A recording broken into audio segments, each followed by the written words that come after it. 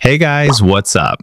Today I'm going to show you how you can put two, three, or even four apps side by side on your iPad without any fuss. First thing you're going to want to do is make sure your iPad's windowed apps or stage manager is turned on.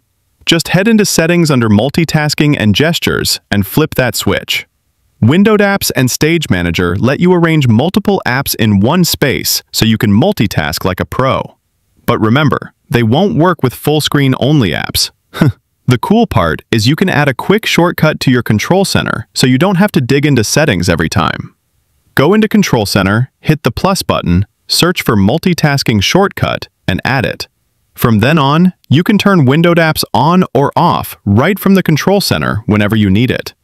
Now, just a heads up, if you pick full screen apps mode, split screen won't work at all on any iPad running iPad OS 26 so make sure you're actually in Windowed Apps mode first. Once that's ready, open the first app you want to use and press and hold on the window until the resize menu pops up. From there, you can slide it to the left or the right side of your screen. Another way to do it is to swipe down from the top edge of the screen or press and hold the green button and pick which side you want it on. Then, just bring up the other app you want to use, hold on its green button, and drop it into the other side.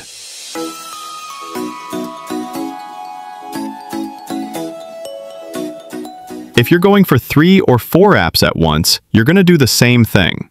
Grab another app and place it in the layout you want. The resize menu will show options for three or four windows, so you can mix and match as you go.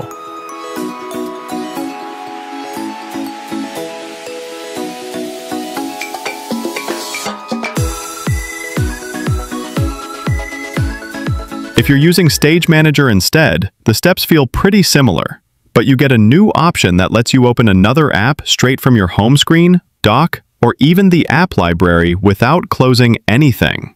That's pretty much it. If you want to check out a more detailed guide for dragging and placing apps manually with your cursor, I've got a separate tutorial linked for you. Hope this video helps you multitask better on your iPad.